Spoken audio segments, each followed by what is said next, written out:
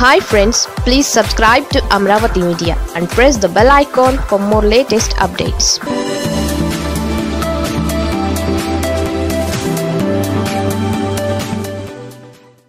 TDP Janasena ఆయువు పట్టుపై గురిపెట్టిన జగన్ ఏపీ సీఎం జగన్ ఎన్నికల వ్యూహాన్ని పదును పెడుతున్నారు. వచ్చే ఎన్నికల కోసం అన్ని వర్గాలను దగ్గర చేసుకునే ప్రయత్నం చేస్తున్నారు. జనసేన ఎంట్రీతో ఏపీలో కొన్ని జిల్లాల్లో సామాజిక ఓటు బ్యాంకుల్లో మార్పులు కనిపిస్తున్నాయి. సర్వే నివేదికలు అదే విషయాన్ని స్పష్టం చేస్తున్నాయి. దీంతో వెంటనే జగన్ కౌంటర్ స్ట్రాటజీ అమలు చేస్తున్నారు. అందులో భాగంగా బీసీ ఓటు బ్యాంకును కాపాడుకోవడం పైన కొత్త ప్రణాళికలు సిద్ధం చేస్తున్నారు. ఇందుకోసం జిల్లాల వారీగా కొత్త కార్యాచరణ సిద్ధమవుతోంది. సామాజిక వర్గాల సమీకరణలతో మొత్తంగా పైచేయి సాధించే దిశగా అడుగులు వేస్తున్నారు. ఈసారి టీడీపీతో కలిసినా కలవకపోయినా ఉభయ గోదావరి జిల్లాల్లో అనుకూల ఓటు బ్యాంక్ పెరుగుతోంది.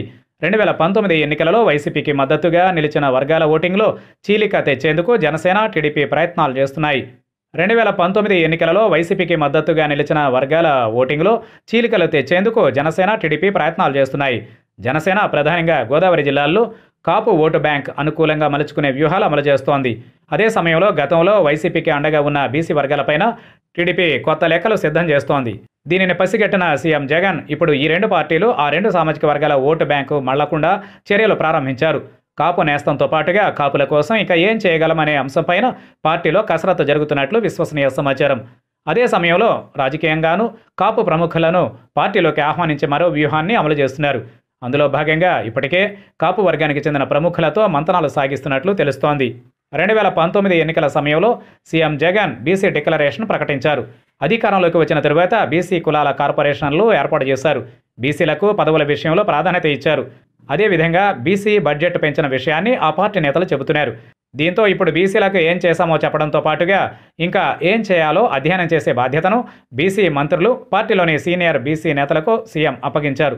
ఇంకా ఏం చేయాలో అధ్యయనం చేసే బాధ్యతను బీసీ మంత్రులు పార్టీలోని సీనియర్ బీసీ నేతలకు సీఎం అప్పగించారు. చేస్తున్న అంశాలను ప్రచారం చేయడంతో పాటుగా బీసీ నేతలకు ప్రాధాన్యత ఇచ్చేలా ప్రతి జిల్లాలో బీసీ గర్జనలకు నిర్ణయించారు. ప్రస్తుతం వైసీపీలోని బీసీ మంత్రులు పార్టీ నేతల సమావేశం జరుగుతోంది. జగన్ ప్రభుత్వం అందజేస్తున్న సంక్షేమ పథకాలు వాటిని వారికి ఏ విధంగా వివరించాలి తదితర అంశాలపై వీరంతా చర్చిస్తున్నారు. తరువాత సీఎం జగన్ను కలిసి తమ అభిప్రాయాలను పంచుకోనున్నారు. ఆ తరువాత బీసీ వర్గాలకు దగ్గరయ్యేలా కొత్త కార్యాచరణ ప్రణాళికను పార్టీ ప్రకటించేందుకు రంగం సిద్ధం చేస్తున్నారు. ముఖ్యమంత్రి జగన్ బీసీ గర్జన ద్వారా ఆ వర్గాలను పూర్తిగా దగ్గర చేసుకునే ప్రయత్నాలు ప్రారంభించారు. టీడీపీకి తొలి నుంచి బీసీ అనుకూల పార్టీగా ముద్ర ఉంది. రెండు వేల పంతొమ్మిది ఎన్నికలలో ఆ ముద్ర చెరిగిపోయింది. అధికారంలోకి వచ్చిన తరువాత తీసుకున్న నిర్ణయాలతో బీసీలంతా వైసీపీతోనే ఉన్నారని ఆ పార్టీ నేతలు చెబుతున్నారు. అటు ఉభయ గోదావరి జిల్లాల్లో సామాజిక వర్గాల వారీగా ఉన్న వైరుధ్యాలు పార్టీలకు కీలకంగా మారుతున్నాయి. దీంతో ఏ వర్గం దూరం కాకుండా జాగ్రత్త పడుతున్నాయి. వచ్చే ఎన్నికలలో సామాజిక సమీకరణాలే గెలుపు ఓటములను డిసైడ్ చేయడం ఖాయంగా కనిపిస్తోంది. దీంతో అటు పవన్ చంద్రబాబు ఇటు సీఎం జగన్ అమలు చేస్తున్న వ్యూహాలు ఏ మేర ఓట్లను కురిపిస్తాయనేది ఆసక్తికరంగా మారుతోంది.